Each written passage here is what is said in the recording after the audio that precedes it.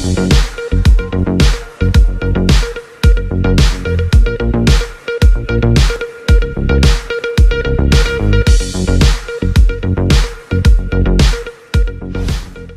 Corona संक्रमण से बचाव के लिए सभी लोग करवाएँ वैक्सीनेशन। कोरोना संक्रमण से बचाव के लिए शासन द्वारा सभी लोगों को निःशुल्क कार्य करवाया जा रहा है। आज बुधवार को एसडीएम रचना शर्मा द्वारा टीकाकरण केंद्र पवई का निरीक्षण किया गया। इस मौके पर तहसीलदार Deepa Chaturvedi, BMO doctor M L Chaudhary भी मौजूद रहे।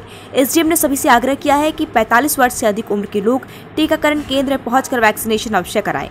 साथ ही उन्होंने बताया कि आगामी कुछ दिनों बाद ब्लॉक स्तर पर 18 वर्ष से अधिक उम्र के लोगों का भी वैक्सीनेशन होगा।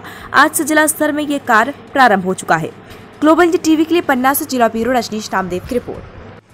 अभी तो सभी के लिए यही संदेश है सबसे पहले वैक्सीन लगवाएँ जा जाकर। अगर 45 साल से ऊपर अगर लोग हो गए हैं तो जो भी लोग बचे हुए हैं जिन्होंने अभी तक टीका नहीं लगवाया है तो सबसे पहले जाकर अपने टीकाकरण केंद्र जहाँ पर टीके लग रहे हैं वहाँ टीका लगवाएँ।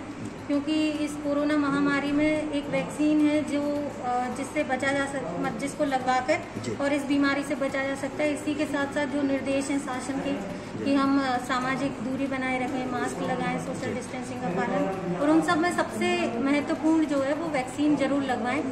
आज ही मैंने मेरी मम्मी का सेकेंड डोज भी लगवाया है। इसी प्रकार सभी लोगों से आग्रह है कि सब जाकर वैक्सीन लगवाएँ घर में रहें सुरक्षित रहें।